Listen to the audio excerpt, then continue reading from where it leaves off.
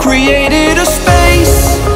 Hey guys, I'm starting off this DIY with a large cup, a small cup, and I'm also going to be using bowls that come in this set, but I'll be using just one of it and removing the bottom using a soldering iron. So I remove the bottom for the bowl and both cups.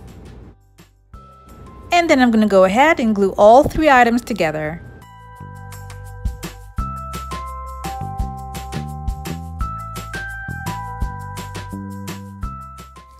I made marks where I intend to glue the handles. And then after that, I got gems from Walmart. These gems are self-adhesive, but just to be on the safe side, I'm going to glue them all around using a hot glue gun. Leaving out the part where I marked for the handles. I got these pulls from Walmart, spray painted them gold and then glued them on. If you're new to my channel, it's so great to have you here. Now don't forget to click on the subscribe button and that notification bell so you don't miss out on any of my latest videos.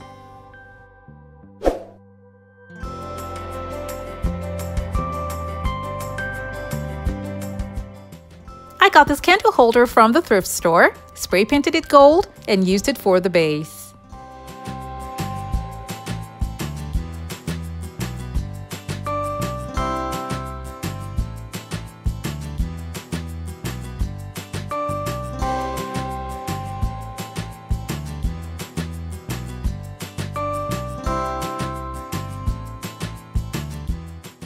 Now there are two words that come to mind for this vase unique, and cute. The second vase is also a thrift find. Now I'm going to be decorating this second vase using the hydro dipping technique.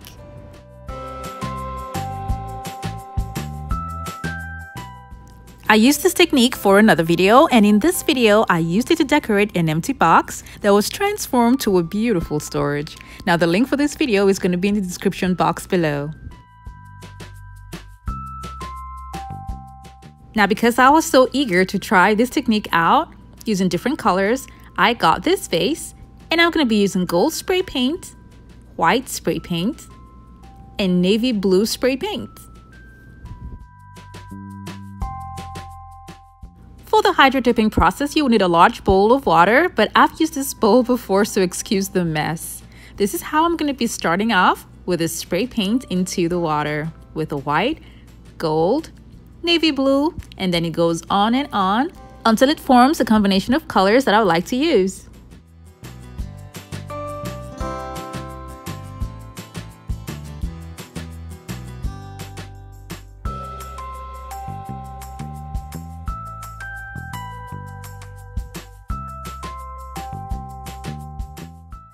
Here I'm just going to use a skewer to draw a few lines so that I'm going to have a little bit of lines on the vase. Now that that is done, I'm going to take my vase and dip it in just around the surface and then turn it as it is inside the water so that the paint can adhere to the vase. As I took it out, I used a blow dryer and started drying off the water.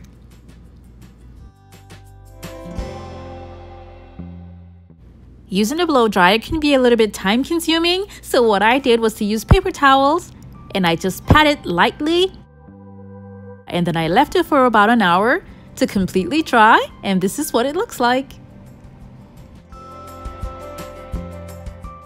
The line there was the line that I drew with a skewer and it looks like marble mixed with blue and gold. Now I'm going to use Mod Podge all around the vase as a protective layer and to also give it a glossy shine. After it was dry, I went round again with another layer of Mod Podge.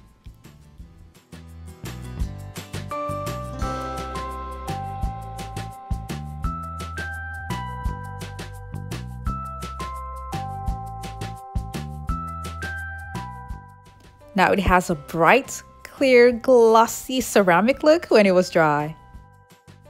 I got this golden trim from Hobby Lobby and I'll be cutting it in singular strips to decorate the top and the bottom of the vase.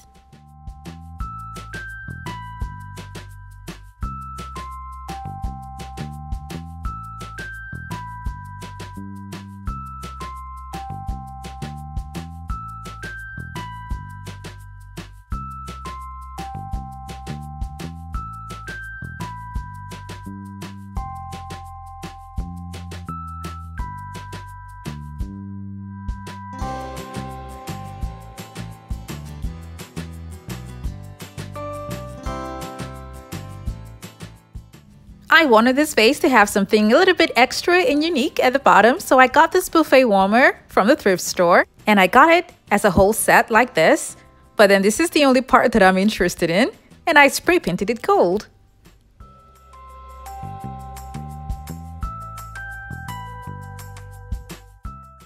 I kept that aside and then I wanted showing you guys this Christmas ornament bell that I cut and use the large part to decorate a vase that I made and the link for this video is going to be in the description box below as well. Now the little part that I cut out was not thrown away. I kept it because that's what I do. I always keep little little bits of things that I know I might need for another project. Now I'm going to remove this part here and then glue this whole piece to the bottom of the buffet warmer.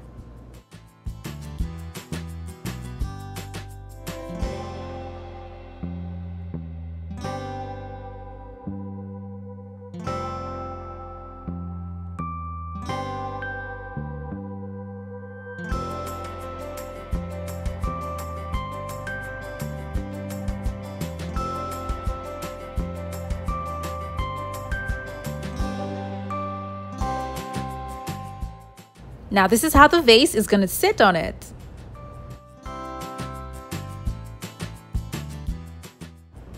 And I'm going to be covering this part here with the same golden trim that I used for the top and the bottom of the vase.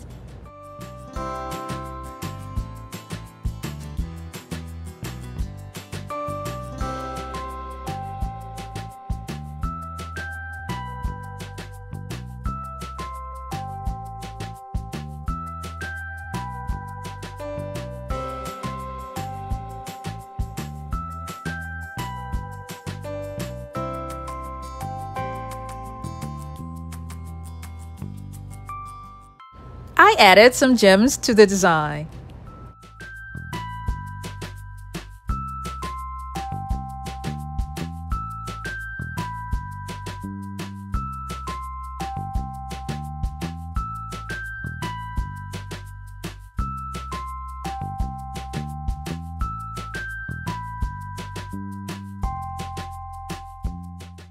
This is another small piece that came out from the Christmas bell that I'm going to be gluing right here at the bottom. This is a golden piece that I got from a chain sold at Hobby Lobby and I removed three of these pieces and then glued them here with a hot glue gun and an E6000 glue.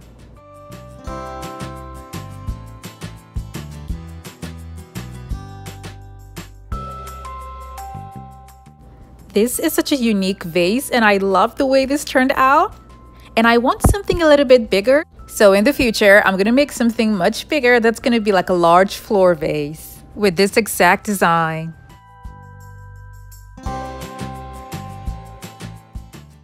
This is another interesting vase that was made using simple everyday items.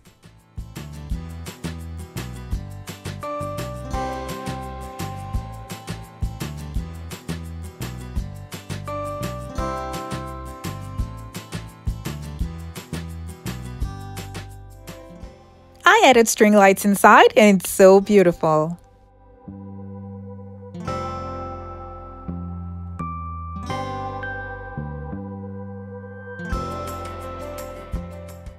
Don't forget to check out this video using Hydro Dipping to decorate a box converted to a fancy storage and the link for the video will be in the description box below.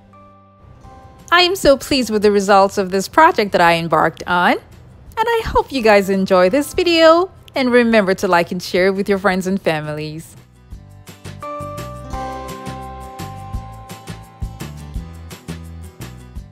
Thank you so much for watching. I have other videos linked in the description box below to check them out and don't forget to click on the subscribe button.